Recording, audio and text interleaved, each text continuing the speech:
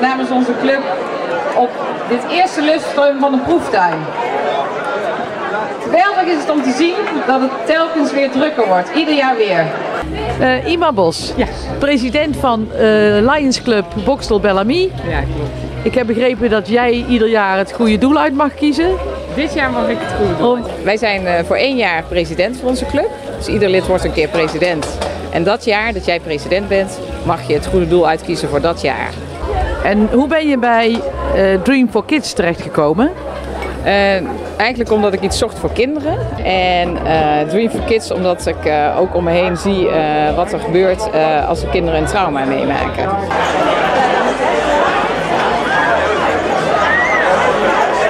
Brigitte van Mameren. Welkom Brigitte. Dankjewel. Ehm, jij bent eh, lid van de stichting Dream for Kids. Ja.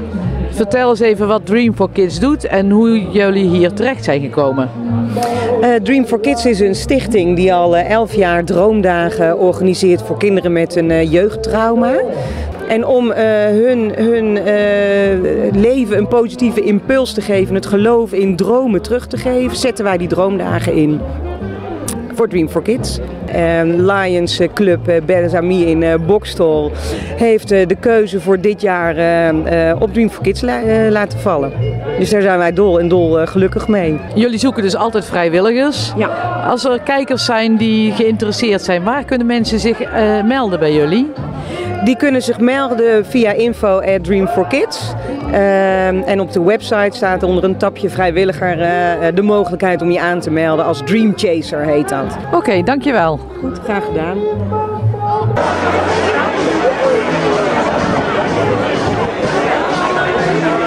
Mireille, waarom doe jij mee aan de proeftuin? Eh, ik vind het een super mooi evenement. Het wordt eh, georganiseerd door de dames van de Lions eh, Club. En die eh, hebben er ontzettend veel werk aan. En wij, eh, voor ons is het een mooie manier om ons te promoten. Dan ga ik even aan de kok vragen. Frank de Koning? Jij maakt de gerechtjes klaar. Wat ben je aan het doen? Een oesteropen aan het maken. Speciale oester is dit. En wat is er speciaal aan? Die worden een aantal keren eh, gemanipuleerd, zeg maar, omgedraaid in een eh, oesterbed.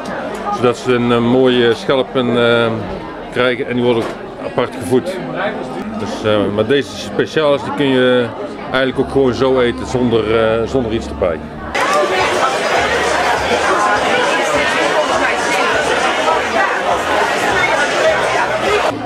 Ik zie hier staan buiten dineren.nl. Ken ik helemaal niet. Komen jullie uit Bokstel? Eh, vertel eens. Ja, ik kom uit Boksel inderdaad. En eh, buiten dineren, ja de naam zegt het al hè, buiten dineren.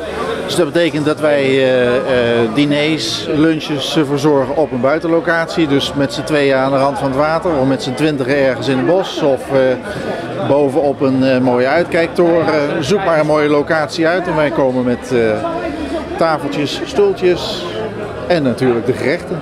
En waarom doen jullie mee aan de proeftuin? Nou, om onszelf natuurlijk te laten zien, maar tegelijkertijd eh, dienen we ook nog een mooi lokaal eh, goed doel. Dus dat is een mooie koppeling van, eh, van deze twee dingen. Dames en heren, Chocolade frambozen dessert. En eh, ben jij de maker eh, van dit lekkers? Ik ben de maakster, ja, klopt. En eh, jij bent van? Ik ben Sylvia van Taart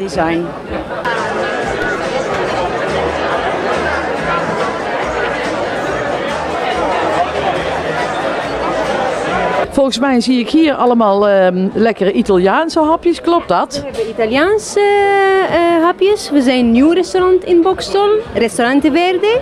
We hebben vitello tonato, tortellini ricotta en parmigiana alla melanzane. Ziet er heel erg lekker uit allemaal. En eh, ben jij de kok? Of, Allemaal, alles samen. We doen alles samen. Nee, samen met haar man sta ik bij eh, Verde dan, restaurant Verde. En eh, we maken samen alle happers. En nou zijn ze hier. En hier hoeven ze alleen nog maar af te maken met eh, Italiaanse kaas, pesto, eh, kappertjes, noem maar op. Dus de rest allemaal voorbereid. Nou, veel succes vanmiddag.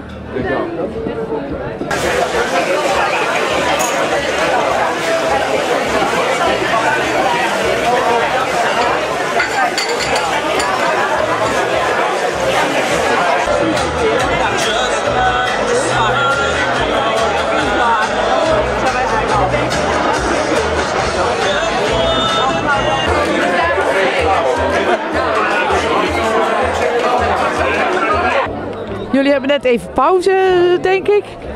En jullie zijn van brownies en downies. En eh, vertel eens, wat doen jullie daar? Wij doen daar eh, mensen helpen om eh, te kunnen lunchen. Dan kunnen ze bij ons koffie drinken of een broodje eten, of een soepje eten, of een worstenbrood eten, of een huisgemaakte appeltaart eten. Zo, dat klinkt heel goed. En eh, er staat nog een collega van jou. Wat doe jij? Ehm, eh, ik ga e ga eten. Um, toastie.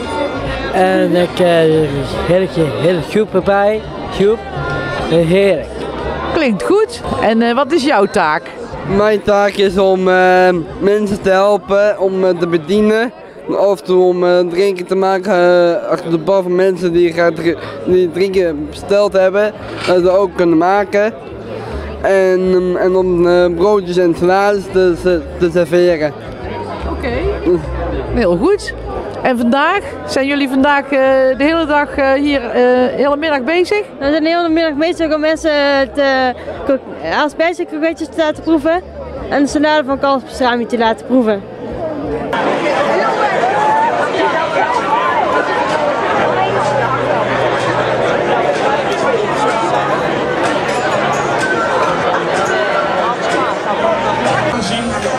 Kom even langs.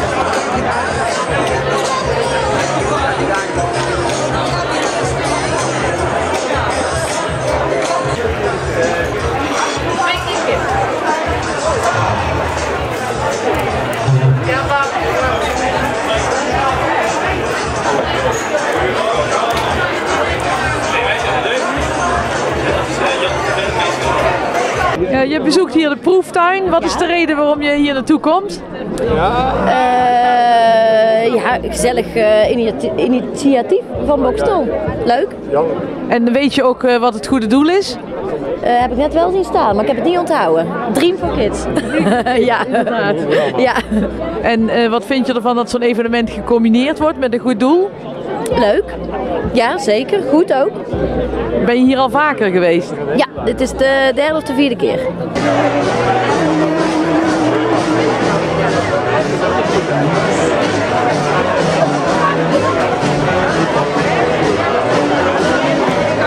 En wat is de reden waarom je dit evenement bezoekt? Gezelligheid, een biertje, een wijntje, wat lekker eten, vrienden, mooi weer, alles erop en eraan. Hè? Ik ben hier al een aantal keren geweest. Dus eh, het is een jaarlijks terugkerend eh, evenement. En weet je ook welk goed doel gekoppeld is aan dit evenement? Dream for Kids. Elk goed doel is een goed doel wat dat betreft. Dus eh, elke euro die naar het goede doel gaat, is naar het goede doel. Hè? Welk goed doel er dan ook is. Dus we sponsoren graag. Dankjewel. Oké.